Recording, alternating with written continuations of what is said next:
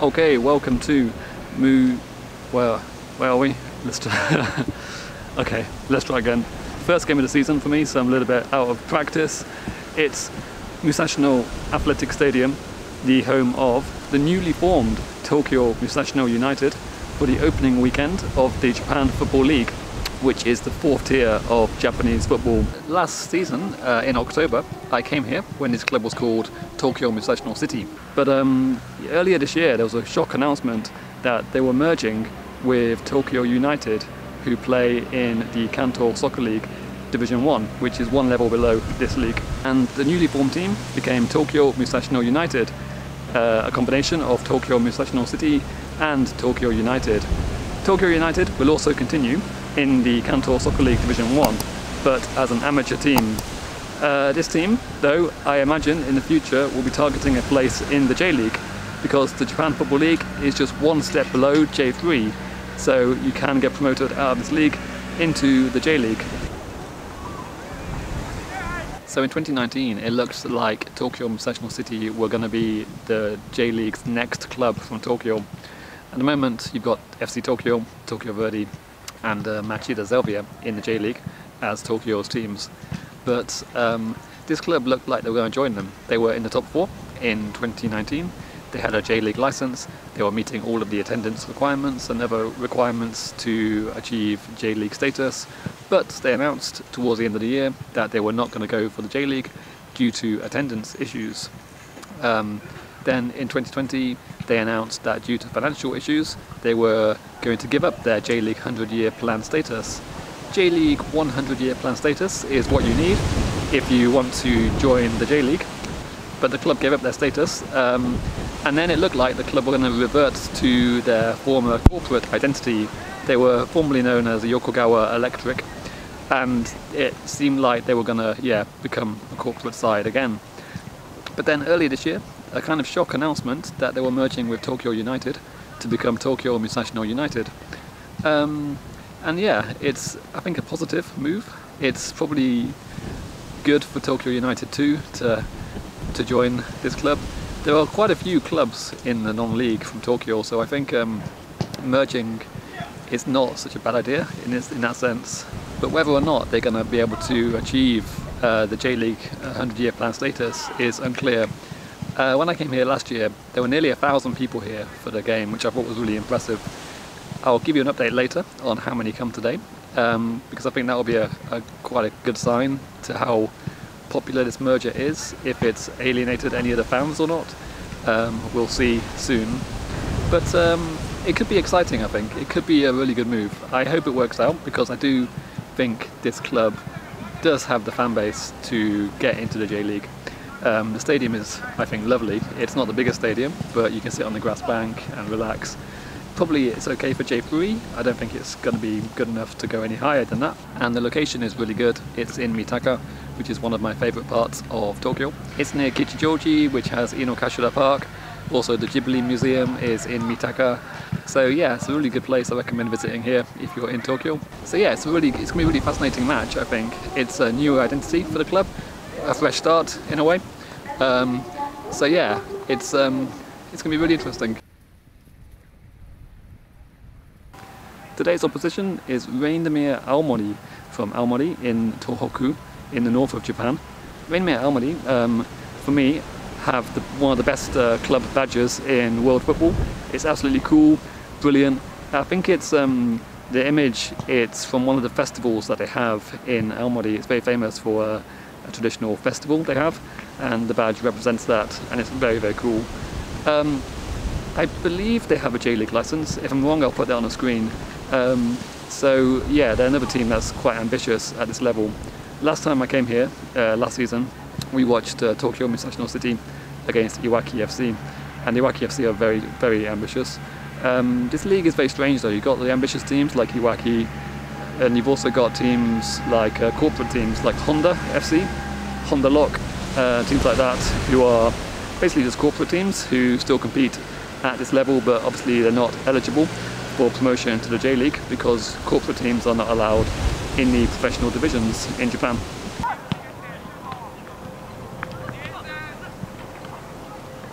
As for a prediction for today's game, Um, yeah, I when I came here last year to watch Tokyo Musashino City, they were really the team were quite physical, quite direct, and they played Iwaki FC that day, who were a more sort of a technical side, but the sort of um, I guess experience at this level uh, from National City really paid off, and they looked like they knew what they were doing. They had a very clear game plan.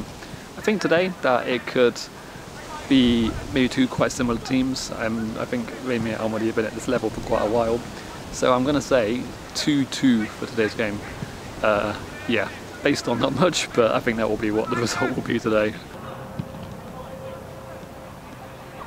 This season as well, I'm going to tell you how much I paid for my tickets because uh, I get quite a few comments asking how much it costs to watch football in Japan.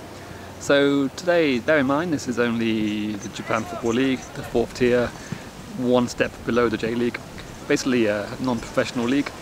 Um, I paid 800 yen for my ticket. I bought it in advance. I'll put the conversion rate on the screen. So uh, I think it's a really good price actually. I think that's not too bad um, for a football game in Tokyo. And of course, it's still COVID times. Um, but of course, we're very lucky here. We can still come to games. Restrictions in place, of course, like masks and stuff. But um, one cool thing today, I'll show you. Got given a pack of JFL hand wipes uh, which is really cool. I like this a lot. I think, yeah, this is really good. There are attendance restrictions in place as well, but I don't think they really affect football at this level because um, the crowds are never that big anyway, really. So um, in the J League, in in the Greater Tokyo area, it's uh, the attendance cap is 5,000 fans. Today, I don't know, we're not going to get that many. We're going to get like maybe yeah up to most like maybe 800, I guess, but it's looking pretty sparse at the moment maybe even less than that. But I'll let you know the attendance figures when they're announced later.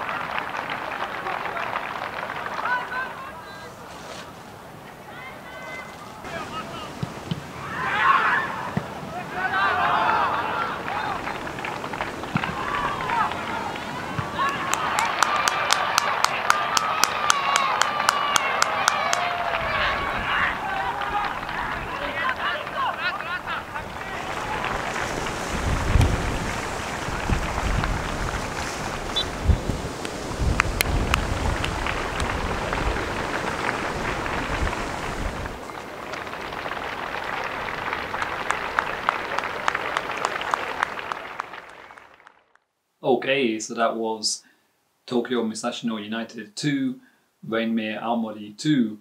I think you'll find that my prediction was 100% correct. So I'm going to say 2-2 for today's game.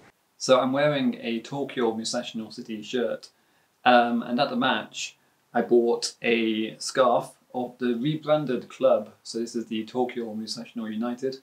Um, yep, this is the new badge and the new colours. So quite a difference in style and identity for the club. So at this game, um, the attendance was 670.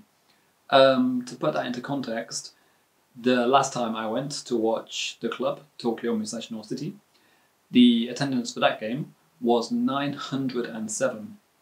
So on the face of it, it sounds like there's been a big drop off in fans.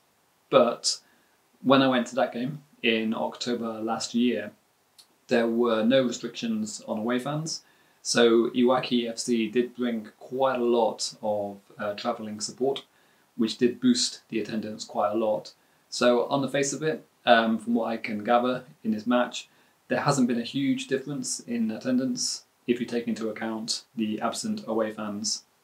So I don't think this merger between Tokyo Musashino City and Tokyo United has alienated any of the fans um, in any sort of major way. So that's really good. That's good to see. And that stadium is really one of my favourites. Um, I love sitting on the grass bank. It's just such a really relaxing place to watch football. The old scoreboard is fantastic. I really like that they have to change it manually. That's um, a really nice touch. Very, yeah, very um, adds a bit of charm to the match day experience. I think the stand is cool as well. If you sit on the grass bank, you look across the pitch. There's that really big uh, sort of sports complex behind the stand, which is a very cool building. So yeah, really nice stadium in a very nice part of Tokyo. So as for the merger between Tokyo Musashino City and Tokyo United, as I mentioned at the start of the video, Tokyo United are still continuing as a fully amateur club in Kanto Soccer League Division 1, but of course are also heavily involved uh, in its collaboration with the Tokyo Musashino United team. On the club website, it's um, basically highlighting the fact that this is primarily a community club. It's um, there's no mention of them at the moment applying for J League 100 year plan status. So for the time being, it seems more like a club that is uh, going to be aiming to you know be a club for the community for young people to get involved in football. They're also using the slogan "Heart of Tokyo" because Musashino City is kind of to the west of the capital. Tokyo United come from Bunkyo Ward, so that's a very central area of Tokyo. So this this collaboration brings together two different parts of the city. So it's quite cool in that respect. It's um, yeah, bringing together two very different parts of the city, which is uh, very interesting. And as for the future, an interesting thing is that if you look on Tokyo United's website, they do mention in their club profile and kind of club introduction that they do want to become a J League club in the future. So you can only assume at the moment, but it does seem like this merger, this collaboration with Tokyo Musashino, is a way to kind of bring them closer to joining the J League because the JFL, of course, is only one step below the J League, and it would make it easier if this club is um, combined.